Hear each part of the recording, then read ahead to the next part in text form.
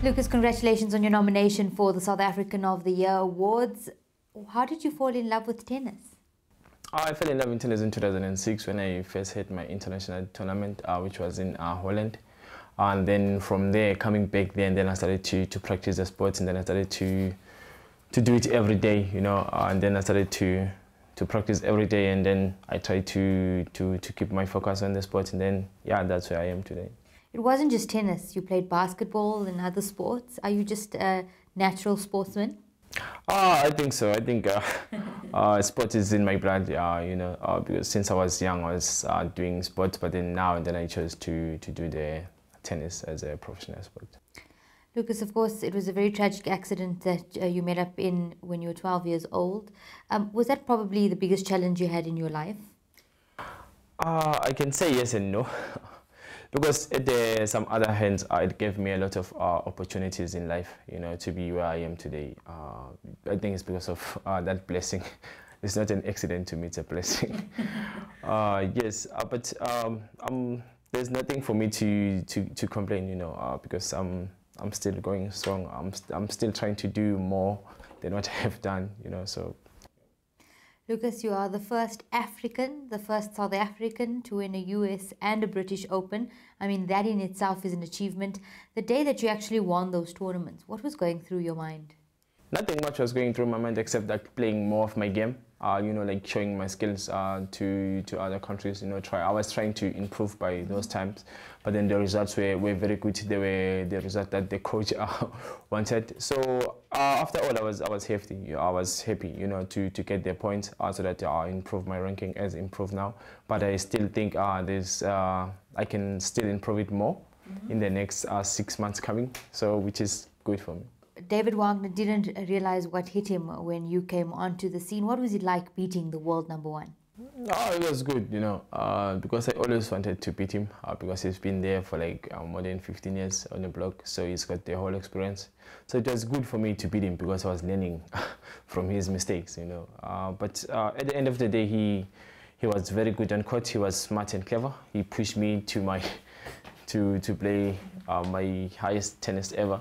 So I always like to play him, you know, because he's a good competitor. He gives me that extra ball, you know, which I need to always to keep an eye on it, which I need to always keep my concentration on a game.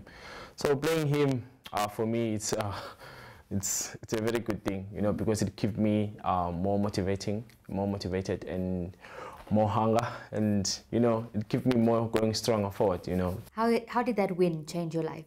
Uh, it did but not the way I wanted it. but uh, it uh, it automatically changed. Yeah. Uh, also to the kids, you know, uh, when I look back now to the kids who are coming in now to the to join the sport, you know, it's I don't know how, how to put it, you know, but for me it, it was a good feeling. Lucas, you're a very positive person. How do you remain positive? I try by all means to to be to be myself, you know, to, to live my life that I want to live, you know, to do what I need to do, you know, which is going to benefit me at the end of the day. I think those are the only things, you know, which keep me positive and more motivated. What are some of the biggest challenges you've had in your life and how do you overcome them?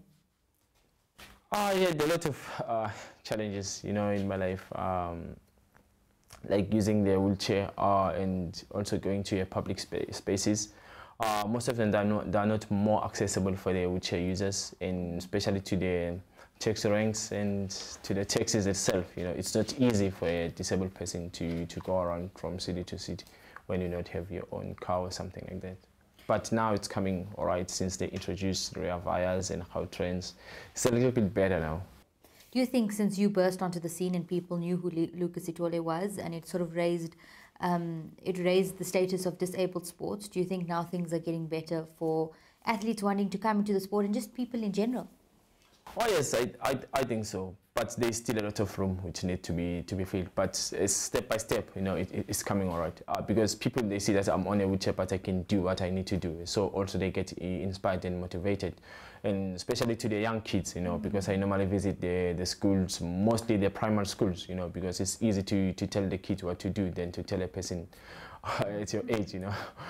Yeah, but uh, I think it's, it's coming all right. I think I think the perspective that people they used to see now to to nowadays is, is changing. You know, because we at, that, at the last four years we, we, we used to get um, noticed when we've done something well, you know, in, in, the sport, or when we're going to the Paralympics, or when we're going to the Commonwealth Games. But now things are changing step by step. But finally, they're going to be, you know, more better and better and better for the pe people who live with disability in sport. What inspires Lucas Sithole? What uh, inspires me is that um, my family, you know, uh, we, I grew up in the rural areas. So, you know, by being where I am today, you know, I still want to do more so that so that I can go back and help the other kids who also grew up in the rural areas and to show them that there's nothing impossible in life. How difficult was that for you coming into stardom? I mean, everybody knows who Lucas Sithole is. They want his autograph. They want to do interviews with him. How difficult was it? Oh, it was very difficult, you know, because I have to move from my own way to, you know, to, to accommodate other people, mm. you know, because of what I have done, you know, which they were happy. So I couldn't say no because, you know, always when people they support you, you get that extra kick, you know, mm extra boost that you know that uh, your country is behind you always. So it was difficult, but at least I managed to to do it with the help of my coach and the organization manager, Karen. So, um, Lucas, if you weren't going to be a tennis player, what would you be? Me, musician. Maskandi uh, music. We heard you singing in studio and it was absolutely beautiful. Is that your second love?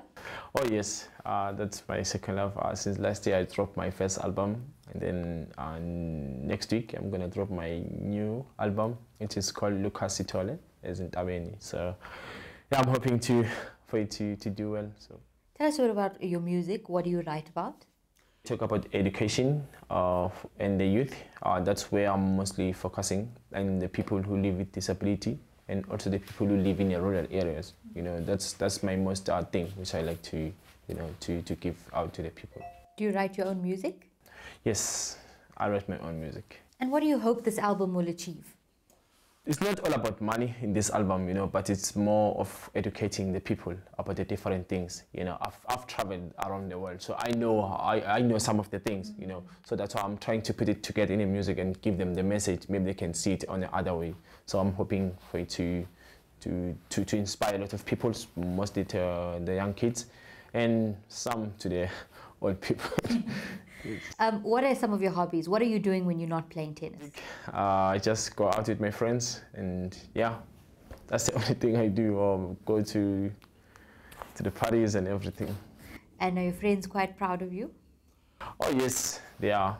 Then when I'm away, they yeah, you know, they give me all those messages that hey, come back now. It's been long, you know. Yeah, but they also give me the motivation. Uh, messages to to keep going strong uh, in tennis, you know, because they know that my first love is on tennis. So, yeah, they are my biggest fans.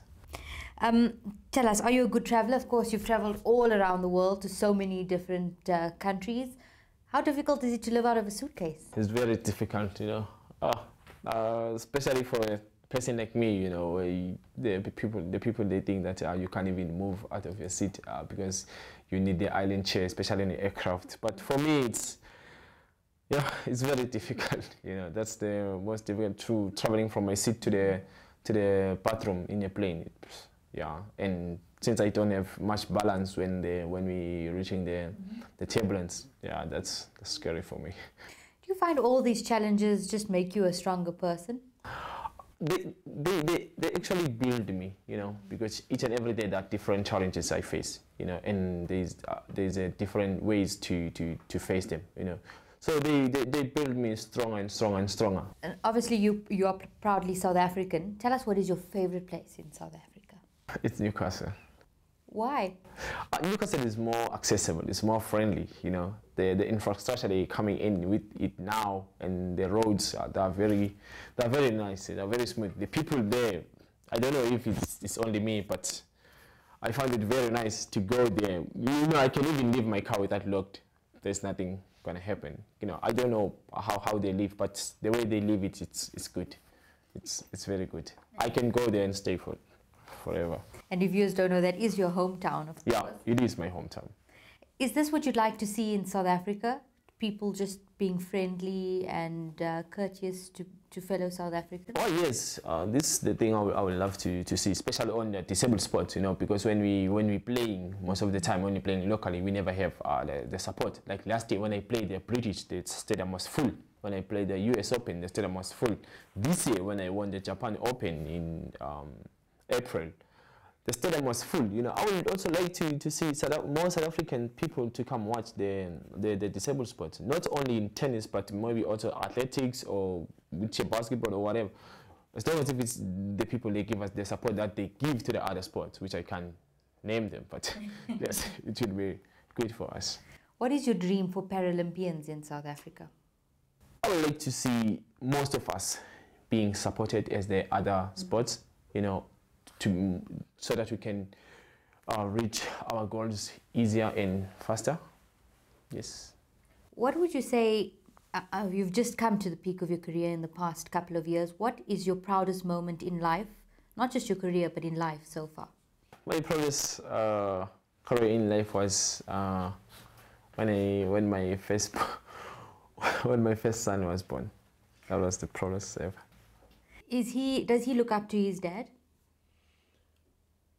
I can't say because he's, he's still young, he's like uh, three years. So, but I, I wish that when he grows up, that he's gonna try to, to do mostly what I what I've done and try to to do more than what I've done, you know, but in a in a very positive way and respectively. It must be so special to see him grow grow up every single day, uh, learn how to talk. Yeah, hey, now he's been all over the house. He crawl over the house, took out the cupboards. My some of my trophies there now they are because of him. But uh, you know, it's for me.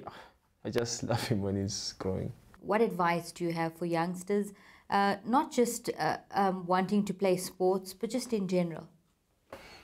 All I can say is that um, we all make the choices but it's up to us if we, we make the right choices because nowadays what I've seen is that we make the right choices at the wrong time and the wrong, wrong choices at the right time. Mm -hmm.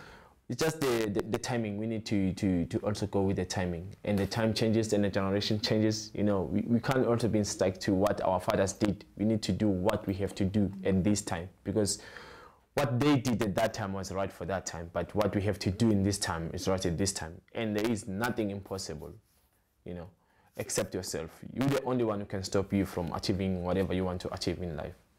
What would you tell people that have actually gone through a tragedy like you have to just get up and, you know, face the world and make changes? Yeah, at first you need to accept yourself uh, before you can go out to people for people to accept you. You know, and then you can't you can't just wait at home to, to, to, to get help. You need to go out and look for help to achieve whatever goals that you have in mind. You know, so that's what uh, that's what uh, I, I did, and it, and it worked for me, and it can work for someone else, but not the way as it worked for me, but different ways. But you can't just stay at home and wait for help. You need to go out there, and and you're gonna and you're gonna get help, and you're gonna achieve what you want to achieve in your life. Lucas, what makes you proudly South African? Uh, there's lots of things, you know, which make me to be proudly South African. You know, we're the only country we have lived in official languages, you know, and it happens that I, I can speak only nine of them, which is good. I feel proud, you know, and the people, you know, who live in South Africa, like most of the people around the world, when they visit South Africa, they think that we're gonna be sharing rooms with lions and snakes and everything. That's true. Yeah, but now when they see us out there, like being South Africans now, so that they get a different picture. So that's what make me feel good. Lucas, why should people vote for you for the South African of the Year? Because I think this would be, it's, gonna, it's not only going to motivate me, you know, but also the other people live with disability in South Africa since we being not in a page where we want to be. Uh, but yeah, I, yeah, that's what I can say. And people, they've seen what I have done um, in the past and I can still do it again.